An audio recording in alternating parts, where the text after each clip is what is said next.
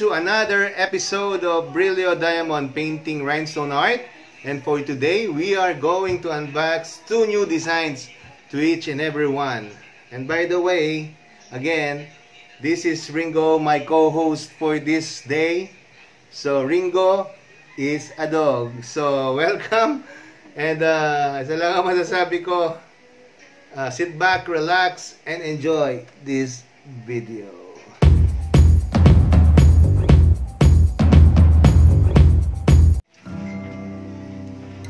Okay mga kabrilyo, ito yung dalawang designs na ipapakita natin for today. Ang code niya is AM115. Ito yun, AM115. At ito ay AM139 na Hello Kitty at isang Japanese doll. Okay. Hello Kitty and Japanese doll.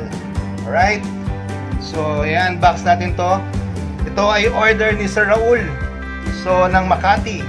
Hopefully, Sir Raul, magustuhan nyo po itong in-order nyo na design.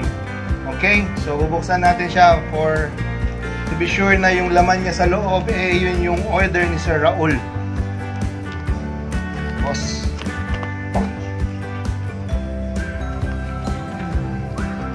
Okay. So, unahin natin ang Hello Kitty. Ang Hello Kitty na ito ay 30 by 50 cm. Right.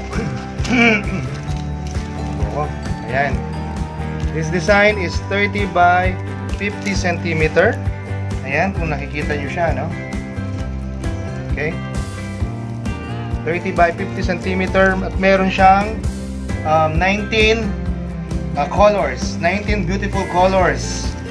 Alright, ito yung kanyang beads. Ayan, mga kabrilyo, mga ka-diamond painting. Napakaganda ng beads niya, very high quality. Ito lang masasabi ko sa design na ito, mga kabrilyo. Alright? So, syempre, complete with toolkit. At meron pa siyang additional tool. Ito, ginagamit ito kapag uh, maramihan. Ang, ang capacity nitong itong um, uh, extension ito ng drill pen, ito pwede kang maglagay hanggang mga tatlo na apat. 1, 2, 3 3 na beads para isaksak mo dun sa rhinestone sa diamond painting. Alright? So tignan naman natin yung isa. Itong isa naman is a Japanese Japanese design. Japanese para siyang Japanese voodoo doll. Ay ito. This is the Japanese doll. Na lang alright? Pareho naman yata ang Japanese pati yung Hello Kitty So, ito siya. Yan. Ayan siya, mga kabrilyo. Ito naman is a is a 30 by 40 cm na design. Right? 30 by 40 cm yan. Meron ito, ito marami color nito. Meron itong 34 colors, mga kabrilyo. 34 colors siya. Ayan. Ayan yung kanyang mga color pattern. Alright? Ayan.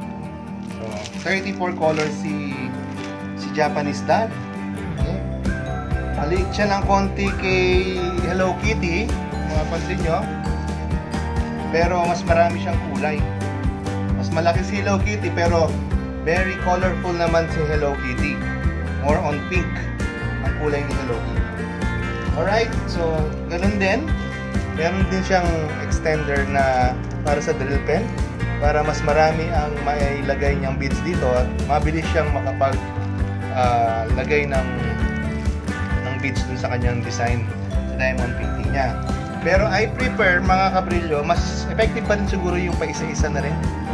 Although matagal pero it's more effective and more uh, mas magiging maayos yung paglalagay natin ng ating uh, mga diamond beads. Okay?